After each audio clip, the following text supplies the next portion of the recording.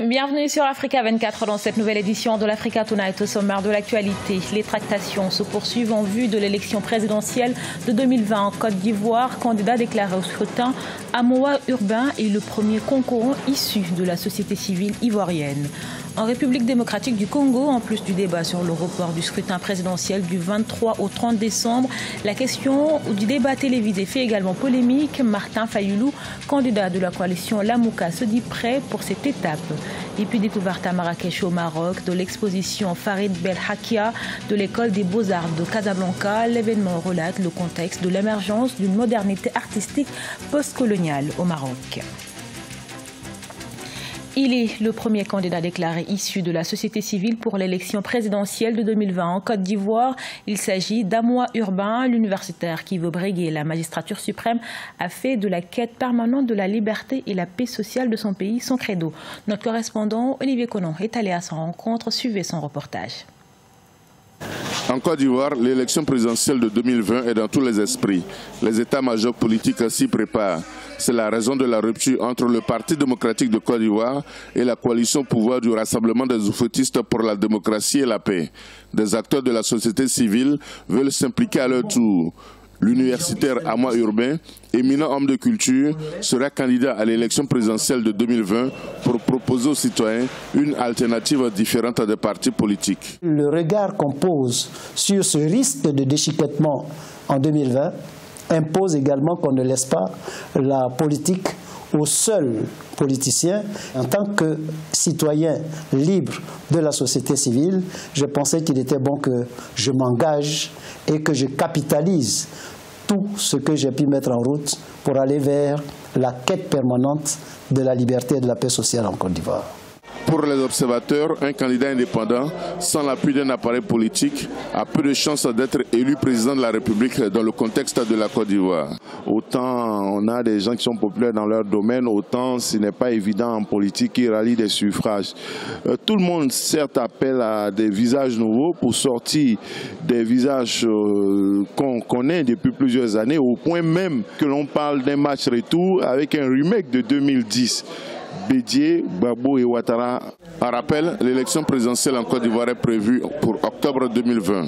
Les élections municipales et régionales d'octobre-décembre 2018 ont servi de test aux partis politiques pour jauger leur poids électoral. Alors que la campagne pour l'élection présidentielle du 30 décembre en République démocratique du Congo s'est achevée le 21 décembre 2018, les candidats attendent toujours le débat télévisé promis par le Conseil supérieur de l'audiovisuel du pays. C'est le cas de Martin Fayoulou qui se dit prêt à défendre son projet devant les Congolais. Nathalie Mo. Le candidat pour la présidentielle de la coalition de l'opposition Lamouka, Martin Fayoulou, veut montrer à l'électorat congolais la viabilité de son projet de société. Pour lui, le meilleur moyen d'y parvenir est la diffusion d'un débat télévisé sur toutes les chaînes de télévision et de radio de la République démocratique du Congo. Une revendication intervenue à quatre jours de la clôture de la campagne électorale dans le pays.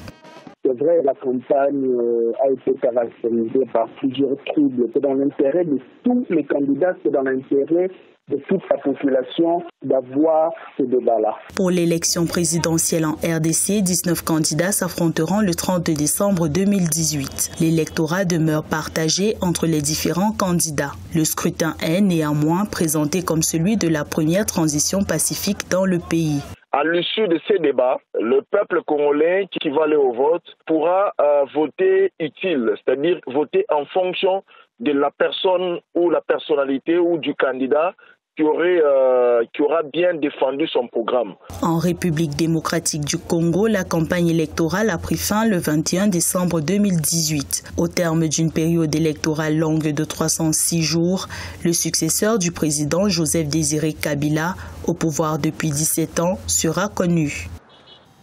La coopération ivoiro-rwandaise se porte plutôt bien, en témoigne cette visite officielle de 48 heures du président Paul Kagame en Côte d'Ivoire ce mercredi 19 décembre. Une visite qui a permis la signature de quatre accords bilatéraux, notamment la suppression des visas pour les voyageurs des deux pays.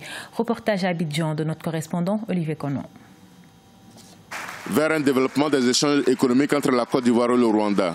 En visite officielle à Abidjan, le président du Rwanda, Paul Kagame, a rendu visite à la CGCI, Confédération générale des entreprises de Côte d'Ivoire. Objectif tisser des liens entre les hommes d'affaires ivoiriens et rwandais. Les membres de la CGCI se sont informés sur les clés du succès économique du Rwanda qui attire les grands groupes internationaux. We therefore created an environment that is conducive nous avons créé un environnement favorable aux affaires. Si vous voulez investir au Rwanda, vous savez à quoi vous attendre. C'est clair. Vous venez, vous savez à quoi vous attendre. Nous vous montrons ce que nous avons. Nous vous demandons si cela vous intéresse. Si vous investissez avec nous, nous nous assurons que votre argent est en sécurité et vos retours sur investissement sont en sécurité.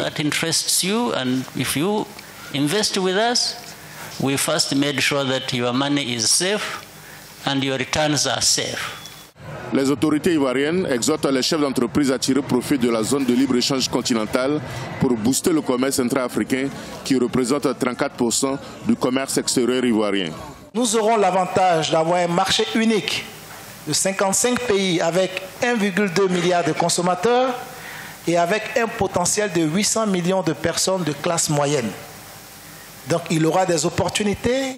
En rappel, les échanges commerciaux entre la Côte d'Ivoire et le Rwanda s'élèvent à 81 millions de francs CFA, essentiellement constitués d'exportations ivoiriennes vers le Rwanda.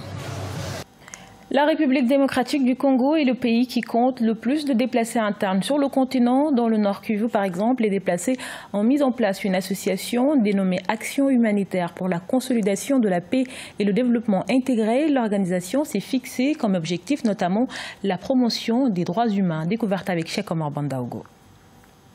Après avoir fui son village dans la province du Nord Kivu du fait de la violence, Jacqueline Kamala parcourt souvent de longues distances, portant son fils de 11 mois au dos pour rendre visite à des familles de déplacés et connaître leurs besoins.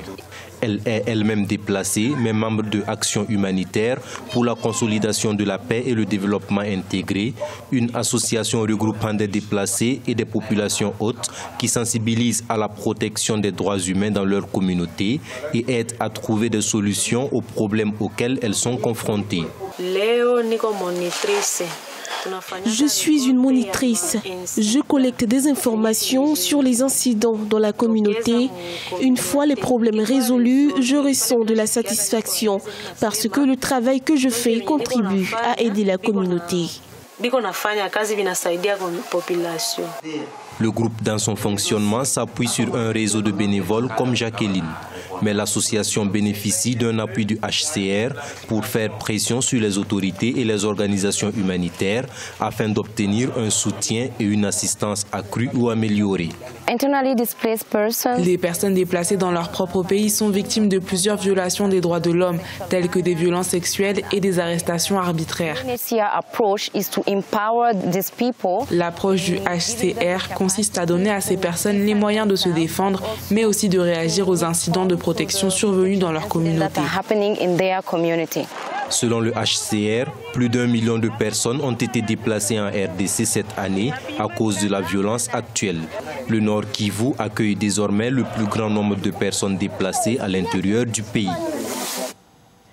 Le Mataf Farid Belhakia à Marrakech au Maroc accueille jusqu'au 31 mars 2019 l'exposition Farid Belhakia et l'école des beaux-arts de Casablanca dont l'artiste était le directeur de 1962 jusqu'à sa démission en 1974, l'occasion de revisiter le contexte de l'émergence d'une modernité artistique au Maroc au lendemain de l'indépendance. Immersion avec notre envoyé spécial El Ndiaye.